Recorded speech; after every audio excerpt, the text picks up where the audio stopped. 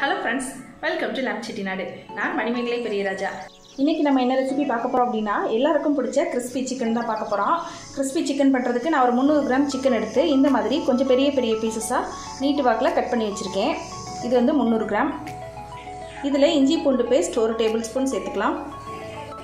அரை ஸ்பூன் மிளகாய்த்தூள் கால் teaspoon garam masala. Half teaspoon pepper மஞ்சள் தூள் ஒரு பிஞ்ச் கால் டீஸ்பூன் சோயா சாஸ் கால் டீஸ்பூன் டொமேட்டோ கெச்சப். தேவையான அளவு உப்பு சேர்த்துக்கலாம். உப்பு உங்களுக்கு என்ன எந்த அளவு தேவையோ அந்த அளவு சேர்த்துக்கோங்க.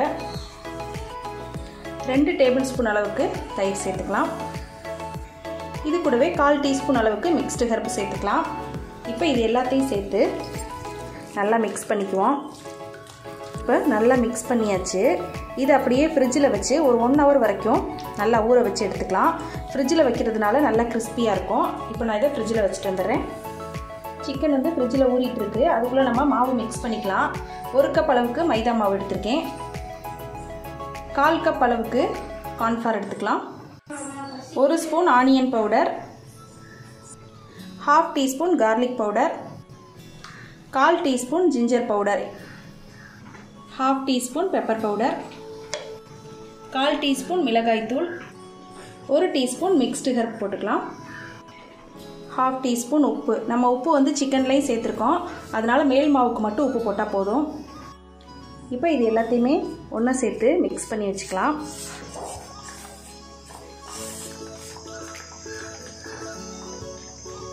இப்போ கிறிஸ்பி சிக்கன் ஃப்ரை பண்ணுறதுக்கு ஸ்டவ் ஆன் பண்ணி கடாய் வச்சுருக்கேன். அதில் இந்த சிக்கன் பொரிக்கிற அளவுக்கு எண்ணெய் சேர்த்துக்கலாம். சிக்கன் வந்து நல்லா மூழ்கி வேகணும். அந்த அளவுக்கு ஆயில் சேர்த்துக்கலாம். நான் வந்து ரைஸ் பிரான் ஆயில் சேர்த்துருக்கேன். நீங்கள் வந்து ரிஃபைண்ட் ஆயில் கூட சேர்த்துக்கலாம். இப்போ ஆயில் சூடாகட்டும். அதுக்குள்ளே நம்ம சிக்கனை வந்து மாவில் கோட் பண்ணி எடுத்துகிட்டு வந்துடலாம். இப்போ சிக்கன் வந்து நல்லா ஃப்ரிட்ஜிலே ஒரு மணி நேரம் வரைக்கும் ஊறிடுச்சு. இப்போ நம்ம ஒன்று ஒன்றா எடுத்து இந்த மாவில் கோட் பண்ணி எடுத்துக்கலாம்.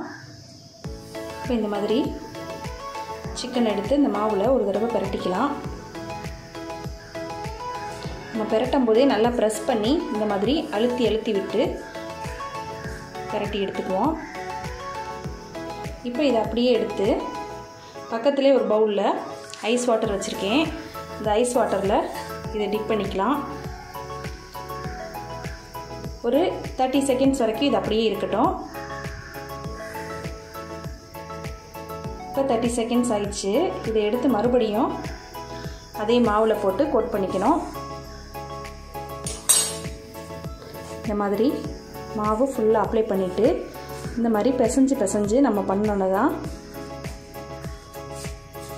நிறைய கிறிஸ்பியாக லேயர்ஸ் வரும்.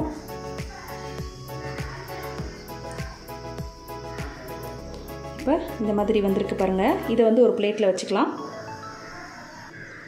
இப்போ இன்னொரு பீஸையும் அதே மாதிரி கோட் பண்ணி வச்சுக்கலாம். நம்ம வந்து ஒரு ரெண்டு ரெண்டு பீஸாக தான் கோட் பண்ணி வச்சுக்கணும். ரொம்ப அதிகமாக பண்ணோன்னா மாவு வந்து ஊறிட்டு அதுக்கப்புறமா அவ்வளோவா டேஸ்ட்டாக இருக்காது கிறிஸ்பியாக வராது.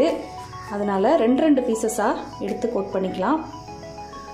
இப்போ இதை தண்ணியில் சேர்த்துக்கலாம். இப்போ மறுபடியும் அதை எடுத்து மாவில் போட்டு பெரட்டி எடுத்துக்குவோம்.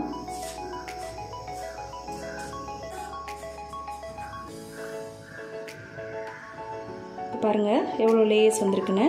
இப்போ இதையும் ஒரு பிளேட்டில் வச்சுட்டு ஃப்ரை பண்ணிக்கலாம்.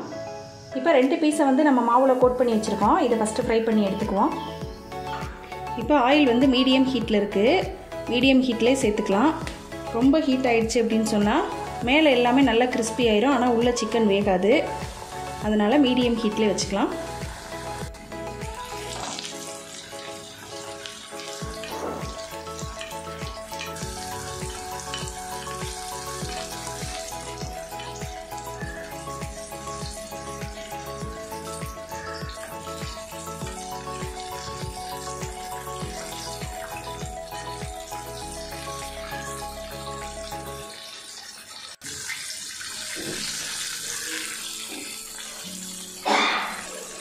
இப்போ சிக்கன் வந்து நல்ல கோல்டன் ப்ரௌனில் வந்துருச்சு பாருங்கள் இந்த ஸ்டேஜில் நம்ம எடுத்துக்கலாம்.